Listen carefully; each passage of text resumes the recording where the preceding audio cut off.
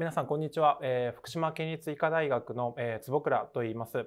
えー、僕はあのもともと医者です。で、まあ、10年、まあ、以上前になりますけれども東日本大震災と福島原発事故が起こってから約1ヶ月後ぐらいからあの福島県の浜通りという、まあ、海側の地域になりますけれども、まあ、その地域で、まあ、放射線に関する計測であったりだとか、まあ、医者として医療を、まあ、10年間ほどずっと行ってきました。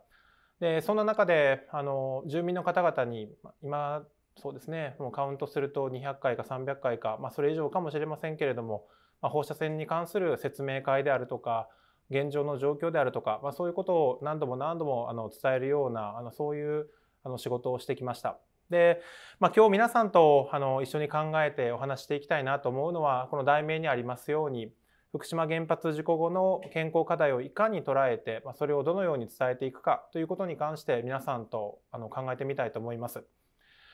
なんとなくあの皆さんってその放射線に関する問題って何かしらややこしいとか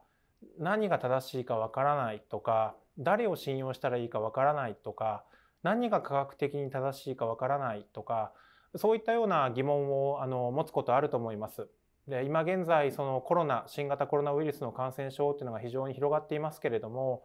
まあ、例えばワイドショーとかでいろんな人がいつもいろいろ言っていたりだとか新聞や報道とかでいろいろな情報を得ると思いますけれどもどれが正しくてどういうふうに判断したらいいかわからないで何なのかなと思って調べるわけですけれども簡単には正解にたどり着けないといったようなそんな状況があると思います。で放射線の話もそうでした。であのまあスライドを少しずつ進めていきますけれども昔その被爆という言葉をあの聞かれたことある方もおられると思います。で、まあ、被爆にはいろんな種類があるんですけれどもでそのような被爆の話を今日あのしていく中で、えー、どういうことを考えてどんなことをこう注意しなければいけないかそしてどういうふうに伝えていけばいいか僕なりにその答えがきれいにあるわけではないんですけれどもいくつか皆さんにあの、まあ、レッスンといいますか私が得たその教訓みたいなものをお伝えできるかなというふうに思います。でそれを共有する中であの今後の情報発信の在り方を一緒に考えれればなというふうに思っています。よろしくお願いします。でまずその放射線の被曝にはあのここにあるように外部被曝と呼ばれるものと、まあ、内部被曝と呼ばれるものがあります。でこれはあの、まあ、一番最初の復習なのであの、まあ、簡単に流してください。放射線を体が浴びることを被曝と言いますけれどもこの放射線っていうのはこの放射性物質っていうものから出るんですよね。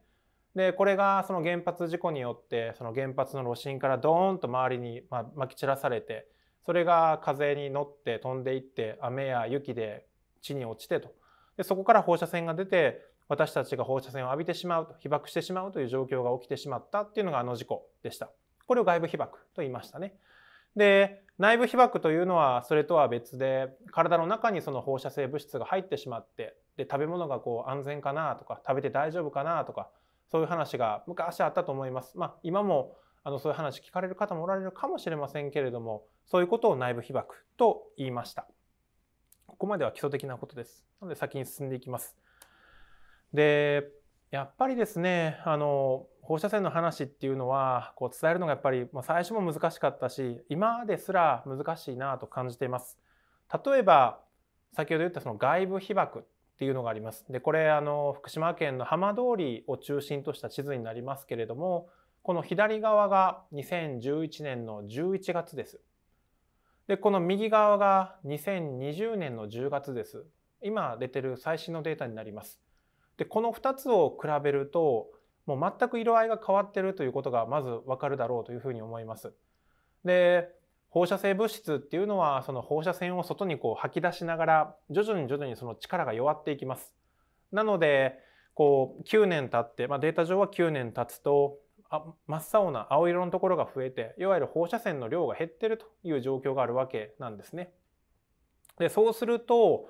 あの、まあ、どんなことがわかるかっていうと昔9年前10年前だとこの右上の写真2つ右にあるこの一番右にあるこの2つの写真にあるような線量計っていうのをつけてでそれでどれぐらい放射線を浴びたかっていうのを調べるような調査とか、まあ、健康診断みたいなものが何度も行われたわけなんですけれどもでそれがまあ例えば今行うともうほとんどの場所いわゆる避難指示が出ていてその避難指示が解除された地域っていうのがいっぱいあるわけなんですけれどもその昔避難地域だったところ避難指示が出ていたところですら現状この線量計を使って生活をすると、まあ、1ミリシーベルトっていういわゆる昔の基準があるんですけれどもその数字をもうほとんど全員の人が下回るというふうなことが現状分かっています。でもちろんその避難指示が出る以外の場所避難指示がその当時出ていなかった場所であればもう今日今現在その1ミリシーベルトと言われる数字を超えることはもうありませんし、まあ、ありませんと言いますかもうまずもうあのまず間違いなくありませんしで他の地域日本の他の地域とほとんど放射線の量が変わらないぐらいのレベルまでなっているというのが現状です。なんですけれどもあのそういうふうにその放射線の量が非常に低いというふうに言うことはできるんですけれどもその一方で僕らがやっぱり注意しなきゃいけないのはそうは言ってもまだ避難指示が解除されてないような地域がまだあるんですね。あのまあ、原発の本当にそばの場所、まあ、双葉町とか大熊町とかそのような町、まあ、周辺の町になるんですけれどもいくらかやはり線量が高くて放射線の量が多くて、えー、避難指示が解除できていない場所があるということも僕らは知っておく必要があります。つまり何が言いたいかと言いますとまず一つ目の教訓というのはその放射線のことを一つのことを話しする場合には表と裏が必ずあるということです。そこだけ聞くと当たり前かもしれませんけれどもこの両方をバランスよく伝えるっていうのは非常に難しいです。片方だけ伝えるともう片方を完全にこう抜け落としてしまいます。もう一つ例を挙げたいと思います。先ほどあの外部被曝というものをこう説明しましたけどもう一つ内部被曝っていうのがあるって言いましたよね。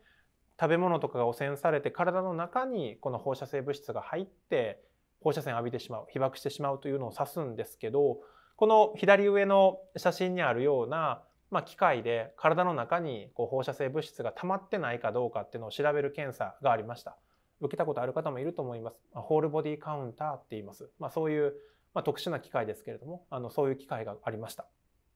まあ、ありますですね。でこれであの、まあ、今現在もですねあの福島県内だといくつかの市町村で、えー、例えば小学生中学生全員の検査っていうのが今現在も行われている地域が当然あります。でただ検査を行うんですけれどももう99.9%まあもうちょっと言うともう100ほぼ100%の方から、まあ、セシウムと書いてますけれども放射性物質を検出することはもうないんですね。でそういう状況があります。でこれってその検出しないっていうのがどれぐらいの量なんですかっていう人もいるんですけれども大人であればものすごい小さい量まで測れますのでそのものすごい小さい量ですらもう検出しないっていうのがもう今の現状なんです。何が言えるかというと通常福島県内で生活していたりとか食べ物をスーパーで買ってそういうものを食べたりとしている中でもう内部被曝するような状況ではもう全然ありませんというのが実際の現状なんですね。でなので、まあ、要はスーパーに行ってですね例えば福島県産はどうこうと言ってみたりだとかこのお米が大丈夫かどうこう言う必要っていうのはもう基本的にないんです。もう価格的には全くないんです。でその一方で、まあ、右側のところにこうイノシシの写真とかがありますけれどもいくつかの食べ物ではその放射性物質といいますかあのそれがまだその検出されるとかその出荷制限って言いますけれどもそのまだその値がたまに高くなることがあるので、えー、自由にあの出荷をしてということが制限されているようなそういう食べ物がまだ存在するというのも事実なんです。チェルノブイリの事故は1986年に起こっていますから今から思いますとその35年ぐらい前になるわけですけれどもえ、まあ、あのその事故の後であっても今現在でもまだその放射性物質を検出するということが、まあ、あるということがあるんですね。なのでこれも一緒ですけれどもあの内部被曝というのはもう日常の生活ではもうほぼ全くしません。で食べ物ももうほぼ全く汚染されていません。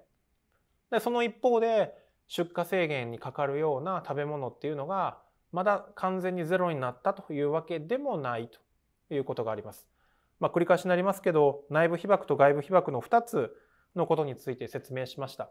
あのまず伝えたいことはそのデータには表と裏があるということつまり全てが大丈夫全てが大丈夫じゃないという話ではなくてまああのお薬とかと一緒ですよね。その薬は基本的にはほとんどの人で大丈夫なんだけれども例えば副作用が出ることがあるみたいな話なのと一緒であのその本その両方の情報を知ってバランスよくでそして相手が何を求めているか相手にどちらの情報をしっかりお伝えして両方の情報をどんなバランスでお伝えすることが一番ベストなのかということを考えながら伝えていくということがあの非常に必要になります。でまああのまあ、このようなその放射線の量が外部被曝も内部被曝も量的にはすごく低いということが分かっているので、えー、まあこれまでにもその広島とか長崎のその原爆による住民の方々のデータであったりだとか世界中の原発で働かれている作業員の方々のデータがあったりとかもともと自然界の放射線が非常に高い地域とかってありますのでそこの地域の方々のデータであったりだとか、うん、1960年代とかの大気中の核実験ってもう山ほど行われていますので、まあ、その当時に放射性物質がまき散らされてということは、まあ、あの非常に有名な事実としてあります。でその当時のデータであったりとかあと我々医者がまあ病院であの画像の検査だとか治療とかで放射線っていうのを使いますからそういう治療なり放射線を使うことで患者さんに何かそのデメリットがあったんじゃないかっていうのを調べたデータであったりだとかそういうこういうさまざまなデータがあってですねそのようにその放射線が体に放射線が体に浴びた時にどのようなその健康への影響があるかというデータは今まで数多く存在するんですね。で、まあ、そのようなことから、まあ、何が分かってるかというとこれも皆さんあの知ってる方が多いと思いますけれども放射線による体の影響というのはその放射線があるかないかだけではなくてどれぐらいの量あったかというその量の問題であって0か1じゃないということ。プラスその自然界我々の日常の生活でその自然界にも放射線ってものが存在するのでそこからある程度浴びていてそこからどれぐらいその浴びる放射線の量が増えたから今その健康のことを考えなければいけないのかっていうこの2点をベースにして考える必要があります。ただあのやっぱりお話ししててやっぱり難しいのはですね多くの人っていうのはその物事をその0か1で捉えたがる傾向があります。まあそれはあのみんなそうです。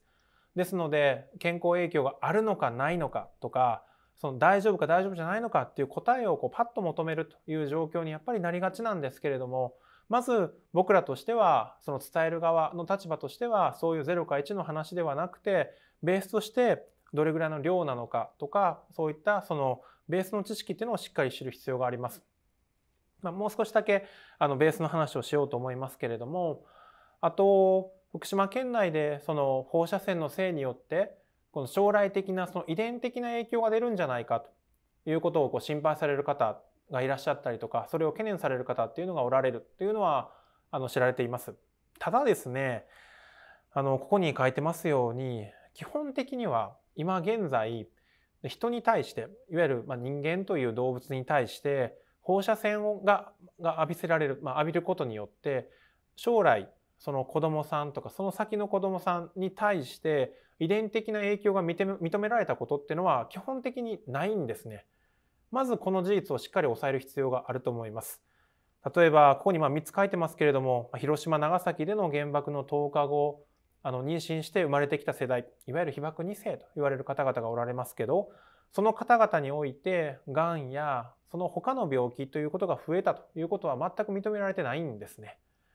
で2点目になりますがその爆心地の近くでその広島長崎で強く放射線を浴びた方とそうでなかった方でお子さんの染色体の異常染色体ってまあその遺伝物質とかいう感じで聞かれたことあると思いますけれどもそのような異常の頻度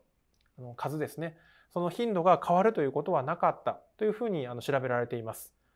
でこういう広島長崎のデータだけではなくて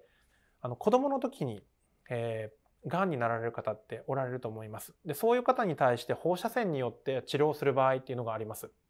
でそうした場合にそうやって治療された方が大人になってごご結婚されてお子さんができるという時にその治療されてなかった治療とかそういうのをなんかなかった方のお子さんと比べて何かしらその染色体の異常であったりとか遺伝するような病気が多かったかということも調べられているんですけれどもこれも変わりなかったということが言われています。であの、まあ、まずは必ずこのこのようなその科学的な基礎的な知識をしっかり知っておくことっていうのが非常に重要になります。でなのであのまあ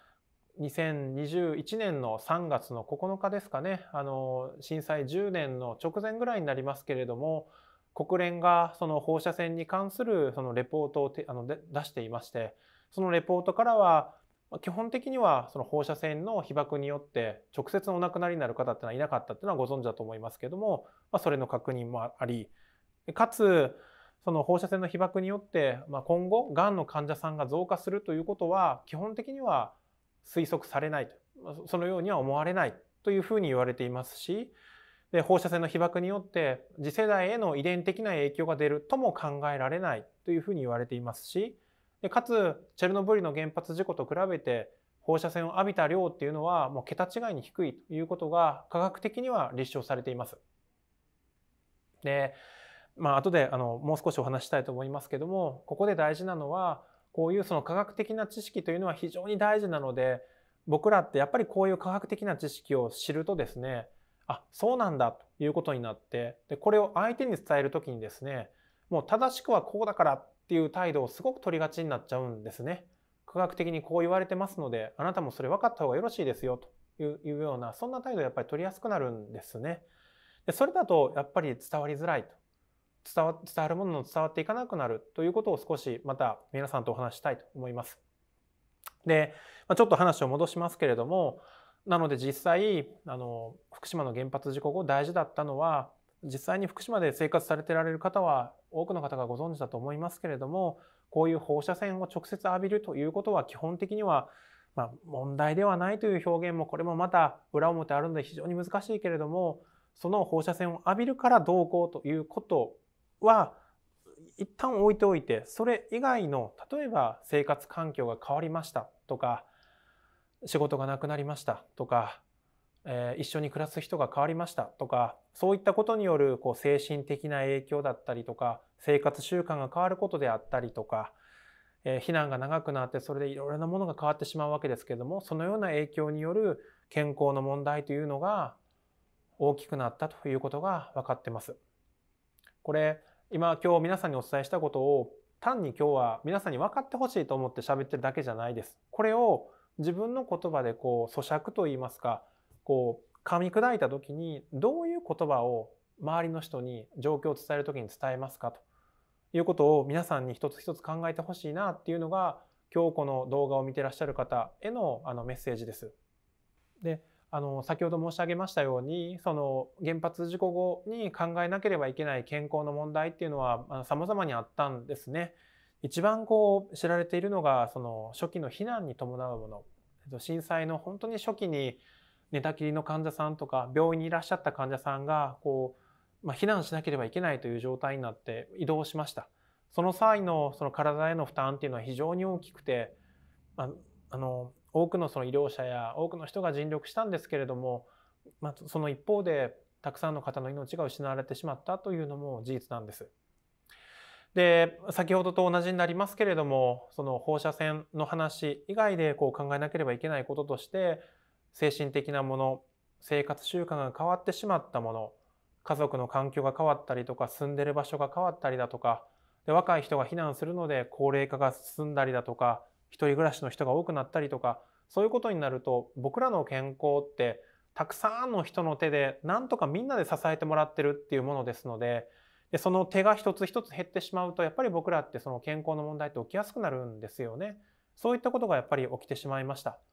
またその周りのその病院だとかそういったものがこう閉鎖されたりだとか、まあ、情報の偏見であるとか避難が長くなったりだとかいろんな作業が生じてとかもうあのいろんなことが言えるんですねいろいろなその健康の問題が出てきたんです。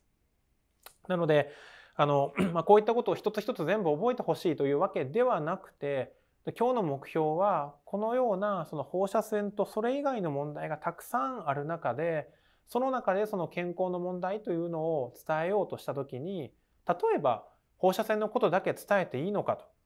いうふうに思うと思いますしで放射線のこと以外だけ伝えるっていうのは多分フェアじゃないんだと思います。でけれども放射線のことが問題ないから他はどうのこうのと他は全く関係がないというのもフェアじゃないと思うんですよね。そういったその裏表っていうのが必ずあるということを繰り返しですけどもお伝えしていきたいというふうに思います。でただですね、まあ、そのようなこう 放射線に関することをいろいろとこう、んあのまあ、僕らは仕事としてやってきてデータをこうまとめてきてっていうふうにやってきたんですけれどもあのこれはですねあの、まあ、南相馬市でその小中学生の保護者さんにアンケートを取っていてですねでその方々に福島県産を食べるのを避けますか避けませんかっていうことをずっとお伺いしているそういうアンケートになります。でこの2013年の時に比べて、まあ、2017年がこのここの最新のデータになりますけれどもこの紫色の線この紫色の線がこの福島県産を避けるとおっしゃっている保護者の方々の割合です。その震災から2年後の段階で75%、4人に3人がそうだったんですね。福島県内ですらそうだったんです。で、それが徐々に徐々に徐々に下がってきてずっと下がってきました。でその一方で、この青線にあるように、福島県産は特に気にしない。福島県産だろうが別にそんなことは気にしませんという方が非常に増えたという現状があります。まあ、特にその2015年ぐらいから急激に変化して、このような状況になったということが分かっています。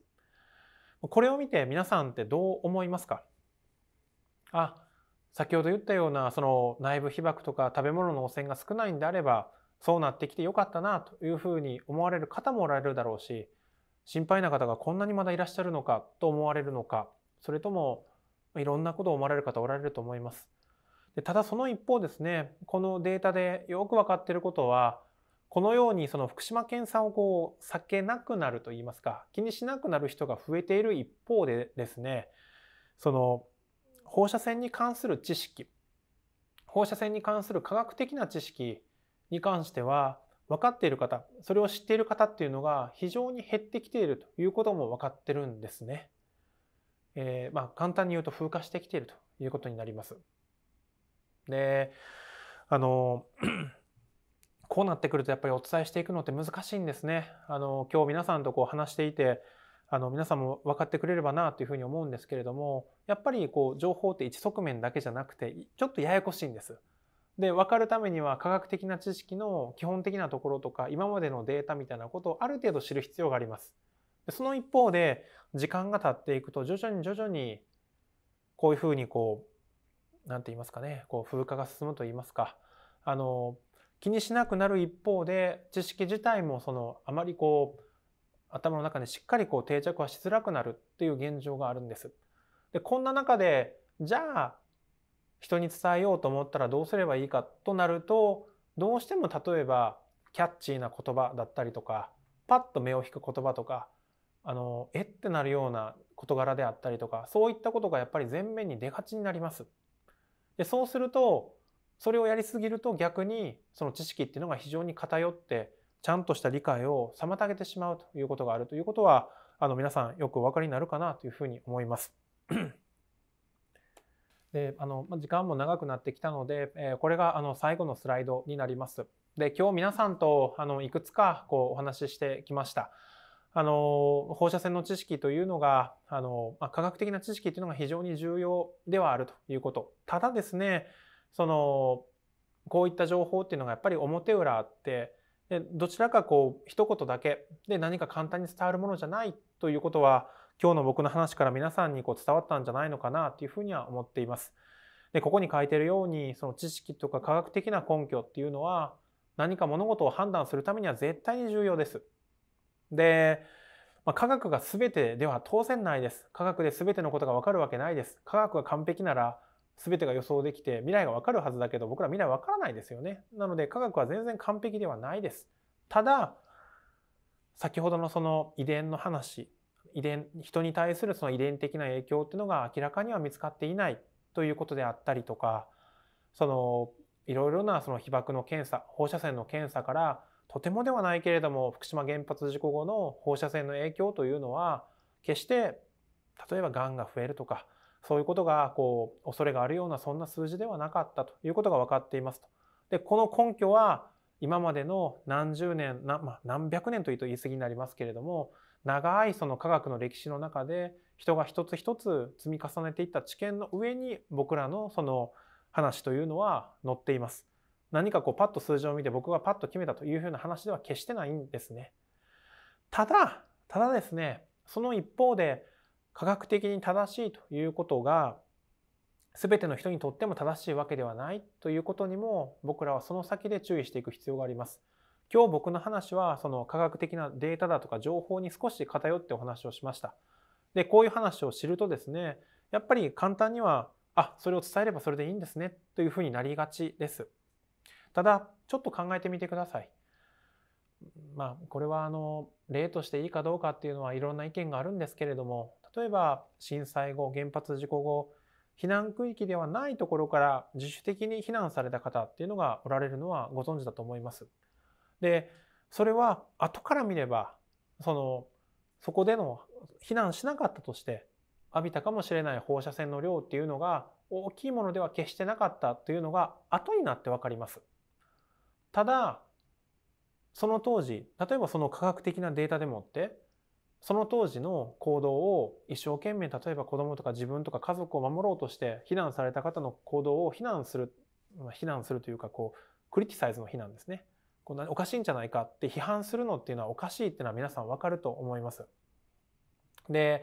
それぞれがやっぱりその科学っていうものをある程度よりどころにしながらその自分たちの考えの中でその物事を決めて前に一歩一歩進んでいきます。まあ、分かると思いますけど人間ってその簡単に科学だけじゃ動かないの分かりますよね簡単にはね。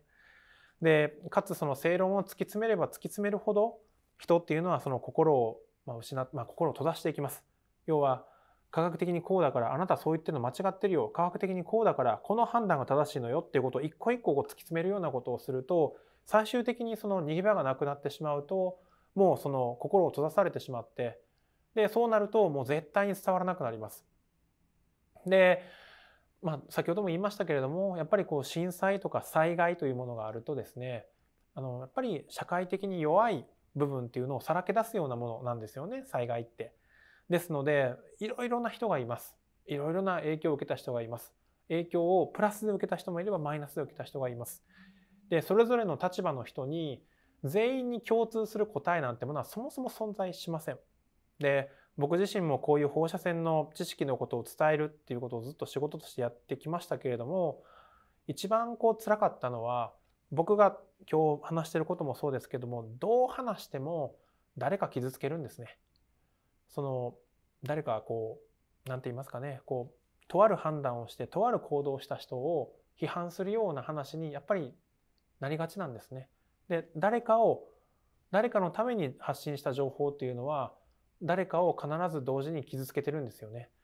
やっぱりあのそういうあの意識は持つ必要がすごくあるなというふうに思います。ただその一方で一番最初に戻りますけれども科学的な話だとか今まで積み重ねられた知見というものを全部無視していやなんとなくこうなんですよねってやり続けるのもおかしいというふうに思います。例えば遺伝的なものであれば基本的には遺伝影響は認められてないということは強く言うべきだというふうに思いますしそれはよく分かりませんみたいなその一種の呪いのような感じのような表現は僕はすべきではないと思っています。で、まあ、そういう考え方も人それぞれなんだろうというふうに思います。で、まあ、最後になりますけどその情報を伝える際には何かしらの目標があります。で僕自身はこの福島でこう長年といいますか震災後10年ほど仕事をさせていただいてやはり僕の一番の目標というのはその福島県内で普通に生活していてで将来こう育っていく例えばお子さんだとかその未来ある人たちが何かその後ろめたさを感じたりだとか何か周りからこう差別だとか偏見とか受けたりとかすることを絶対に防ぎたいというのが一番の目標にあります。えー、だからこそその先ほどの遺伝とかはもう基本的にはありえないという表現をしていますしただこの表現というのは人によってやっぱり違います。その科学で科学科学科学っていうのを突き詰めたい人とか例えば原発というものが今後続けるべきか続けるべきじゃないかみたいなことをこう議論するような場合とかじゃあその核のゴミをどうしたらいいのかっていう問題であったりだとか現在やっぱり解決してない問題っていうのがいっぱいあります。でその話をする時にはそういう話を目標とする場合にはもしかしたら表現が少し変わったりするかもしれません。まあ、ここにあるようにその情報を伝える際には何かしら目標があります。その過程で目標にかなう情報がこうした選択されていく。つまり何か伝えたいことがあってそれに合わせて情報っていうのがそぎ落とされていくのでやっぱりそのバックグラウンドを広く持ってでその相手がどういう立場で何を発信しようとするかというのを知りながら話を聞いていくというのが非常に必要となります。まああの最後になりますけどその科学と社会や感情の狭間っていうものが必ず僕らのま世界では存在します。まあ、現在例えば新型コロナとかもそうですね。その全てが科学や数字で解決するわけじゃありません。でかつ感情だけで物事も動きませんという世界の中であの、まあ、この放射線のことは例えば一つどのように伝えるかどのように物事を考えるかということに関して非常にこう、まあ、重要な題材の一つであるというふうに思っています。あの今日お話した内容を少し皆さんの中で噛み砕いていただいて例えば皆さんがこの今日知った情報を隣の人とかご家族に伝えようとした場合にどんな形でどういうふうにお話しするかっていうのを少し考えるようなきっかけにしてくれればなというふうに思っています。すいません、少し長くなりましたけど、以上で終わらせていただきます。ありがとうございました。